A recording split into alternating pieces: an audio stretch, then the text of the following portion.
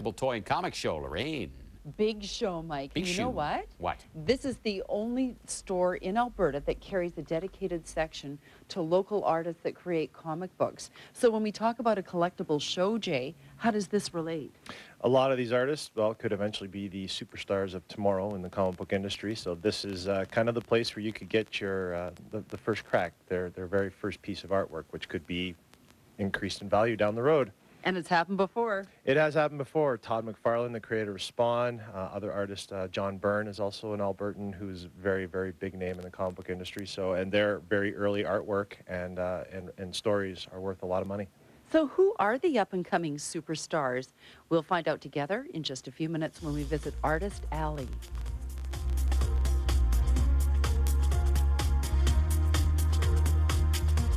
It's 824. It's time to catch up again with Lorraine. She's at Happy Harbor Comics. She is, and introducing us to some of the local talent that will be at this year's collectible toy and comic show.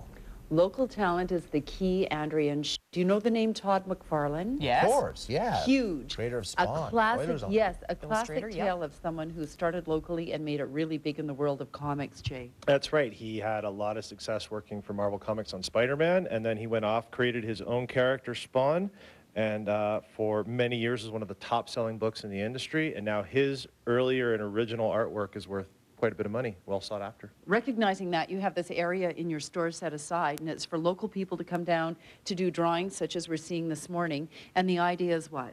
Uh, basically, we host the space for the, the comic community to come together so the artists can meet each other, inspire each other, work with each other, develop contacts, and uh, you know help them move forward and progress with their art, keep their dream alive. You're going to do that at the show, too. Absolutely, yes. We work in conjunction with them to have an artist alley at the uh, the Edmonton uh, Collectible Toy and Comic Show, and uh, you'll see a lot of stuff. Um, people selling their uh, original artwork and doing sketches on demand, selling their original comics, and uh, all sorts of really cool stuff. Which may be worth a whole lot of money, just like Todd McFarlane at some point in the future. Melanie, you actually are starting to make your living in the world of comics. How so? Um, I'm basically flatting for other artists, comic artists that are coloring for either DC, Marvel, or What does flatting mean? Um, flatting is meaning like putting base colors down for um, other landscapes, people, or anything that the person created. These are examples of Melanie's work. Now, feast your eyes on the work of Dan, who lives in a farm uh, not far from Odrosson. But what you would like to do is make your full-time living in the world of comics. Is that right? Yep. So how do you do that? Uh, basically, you just uh, you kind of just throw yourself at it. Yeah, there's no real uh, direct path. You don't go into a company and apply for a job like a regular job. You just kind of come at it through uh, networking. You go to shows and talk with artists and writers and editors, and just let yourself be known. Throw your art out there, let them see what you can do, and then. Are you getting closer? Oh yeah, really close. Uh, I'm thinking this year I'm gonna make a lot of progress. Look at this work. This is just amazing. I looked at this and it just took my breath away.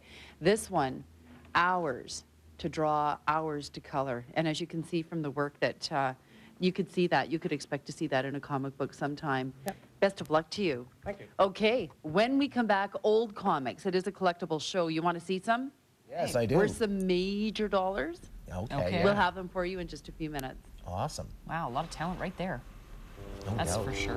842, and we have one more stop to make over at Happy Harbor Comics. Yes, Lorraine has been there this morning getting all prepped uh, for the big show and checking out some of the artwork too. And many of these comics, they've been around a long, long time, Lorraine. Oh, Shay and Andrea, so much to know, so little time. Are you ready? Lesson 101. This comic is worth about $40.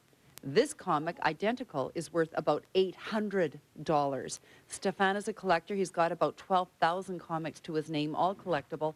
I don't get it. What's the difference, Stefan? Uh, the difference was that when uh, these books came out, the they started they moved over to bag distribution, which was which uh, means that they weren't available in convenience stores anymore. They only sold them in drugstores and department stores, and because they sold them that way, they were they had a hard time getting them out there at first.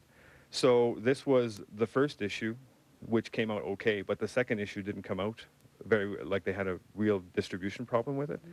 And they estimate now only about 100 copies exist of this oh, book. That's why 800 That's and right. that's why $40. Can you imagine? Take a look down. When you're collecting comics, look in the corner. One will be the original, One will be with the W that stands for Whitman. For Whitman, that's right. What happens is that the DC Comics uh, allowed Whitman to reprint their books to be sold in bags as well. And uh, what happens now is that the Whitman versions are actually more collectible than the DC versions because they estimate about for every 10 copies of DC that they printed, only one Whitman exists. The knockoff in this instance is worth more than the original. Can you imagine? Take a look down again, identical comics, but look at the difference in prices 40 cents, 50 cents. For a collector, what does that mean? Uh, what happens, once again, Whitman had distribution problems and they had printing problems. And what happens is that the 40 cent version is actually an error, which means that it is about 20 times as rare as the regular copy. So once again, uh, the error copy is worth a lot more than the regular version that comes out. Canadian versus American. What's the difference? Just like toys, uh, about 1982, they switched. O- the Canadian dollar was worth less than the American dollar, so the cover price switched from 60 cents in the U.S. to 75 cents Canadian.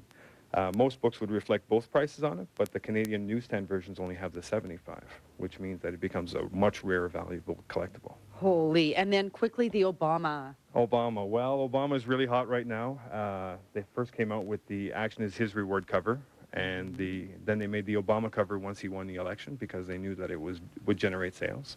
Uh, but what happens with this book is that not a lot of retailers were able to order it in time, so they short printed them and they had to go back to multiple copies because the demand was so high. These two are collectible, but what you can gather from what Stefan has said this morning is it's a quagmire. It's a world out there unto itself. So if you want to learn more, there's going to be panels. You can glean information. And don't just be selling your stuff off thinking that you know a lot. Make sure you do your research before you sell or buy so that you get a fair amount for what it is that you have on your hands. It may be a real treasure. You don't know. What fun. It- oh, it would be a hunt, wouldn't it, Andrea and Shay? Mm-hmm. Good advice. Yeah, yeah. Next weekend, you might want to take the show in. Have a good weekend this weekend. Enjoy the weather. We'll see you on Monday. All right, you too. Thanks, Lorraine. It's fun to collect something. It is, yeah, no doubt. The Edmonton Collectible Toy and Comic Show goes at the Conference Center, as Lorraine said, next weekend, Sunday, March 29th. Doors open 10 to 6. Visit their website through the link on our website, globaltvedmonton.com.